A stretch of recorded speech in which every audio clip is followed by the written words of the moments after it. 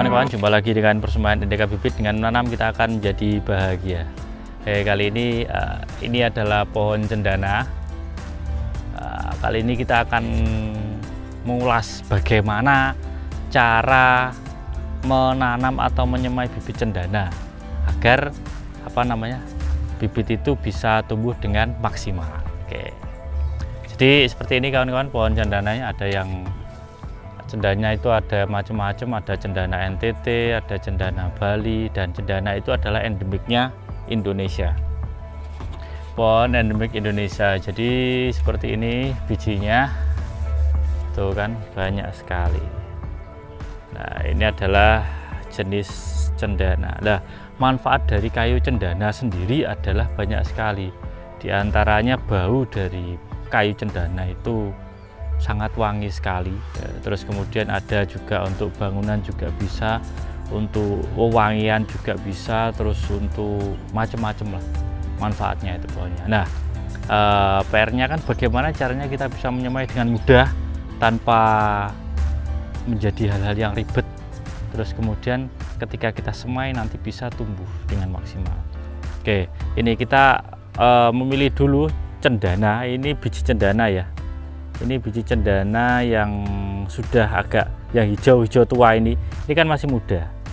Ini masih muda seperti ini belum bisa digunakan tapi kalau sudah agak hijau seperti ini sudah bisa. Nah, nanti kalau sudah tua maksimal kan warnanya hitam seperti ini kawan-kawan. Tapi kita ngambil yang hijau-hijau ini juga bisa. Karena apa? Kalau apa e, warnanya sudah hitam ini rawan diterpa angin. Jadi hilang. Jadi kita ambil saja yang ini kita petik. Nah ini seperti ini. Yang warnanya hijau hijau tua.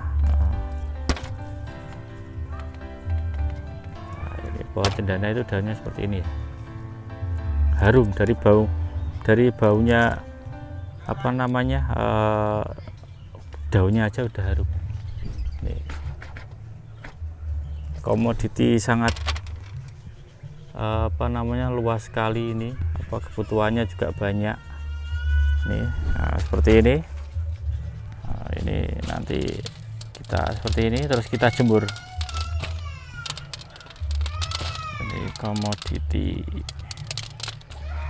uh, bunga apa pohon cendana. Ya setelah itu kita jemur dulu. Ayo. Karena kita jemur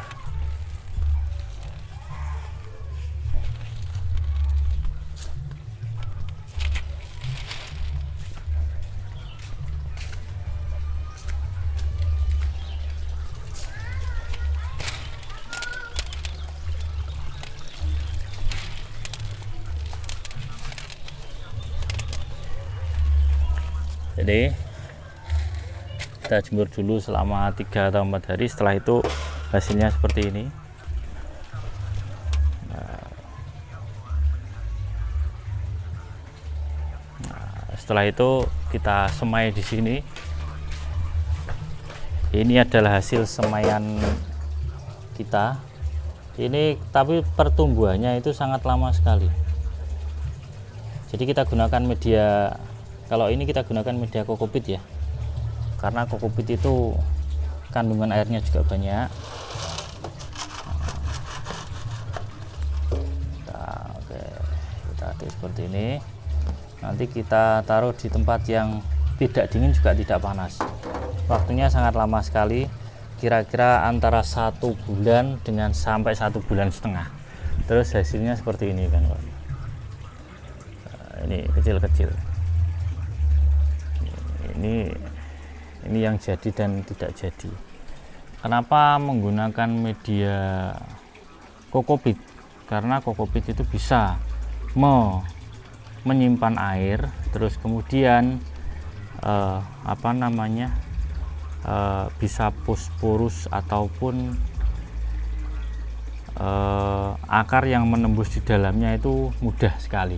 Nanti ketika diambil pun juga sangat mudah seperti ini.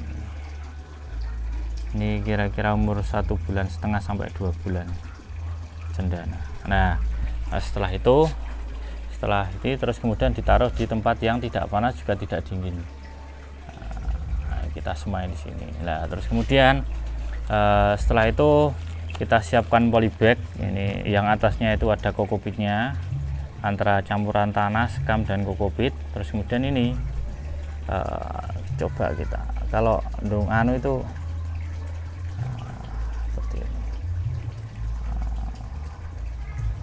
kita beli yang besar harus jadi gini tidak begitu stres.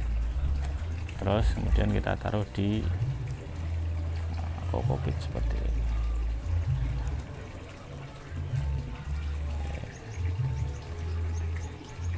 Ini perawatannya harus agak ekstra kawan-kawan ini tidak boleh ditaruh di tempat yang langsung panas karena nanti akan layu dan mati. Juga tidak boleh terkena sinar oh, terkena uh, hujan. Terkena air hujan juga tidak boleh. Seperti itu kita cari lagi yang agak besar ini. Nah, harus hati-hati sekali. Nah, seperti ini taruh ini hasilnya. Ini dari semayan umur satu bulan setengah. Ini. terus kemudian eh, setelah ini kita jangan ditaruh di tempat panas juga taruh di tempat yang teduh terhindar dari matahari langsung dan terhindar dari hujan secara langsung karena belum kuat. Nah setelah umur kira-kira satu bulan nanti akan seperti ini ini ini hasilnya satu bulan. Nah kalau sudah seperti ini kawan-kawan bisa langsung ditempatkan di tempat yang panas ya kan? Bisa langsung ditanam di tanah juga bisa atau nunggu yang besar seperti ini ataupun masih disemai dulu di tempat yang panas sudah bisa. Ini pupuknya dua minggu sekali bisa NPK, Zeta dan sebagainya tapi skalanya masih kecil sekali Nah, terus kemudian eh, apa namanya? Oke, cendana ini ada yang lucu. Jadi ini daunnya itu beda.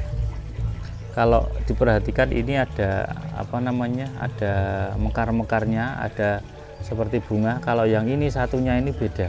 Tetapi ini dari tanaman yang sama jadi kalau ada yang mengatakan oh ini adalah cendana Bali terus ini cendana NTT salah. E, bagi kami tidak eh, valid lah. Karena apa? Ini dari pohon yang sama. Ini dari biji yang sama biji yang kita semai tadi juga hasilnya seperti ini. Ada yang daunnya lancip seperti ini ada juga yang daunnya e, ada batikannya seperti ini. Seperti ini.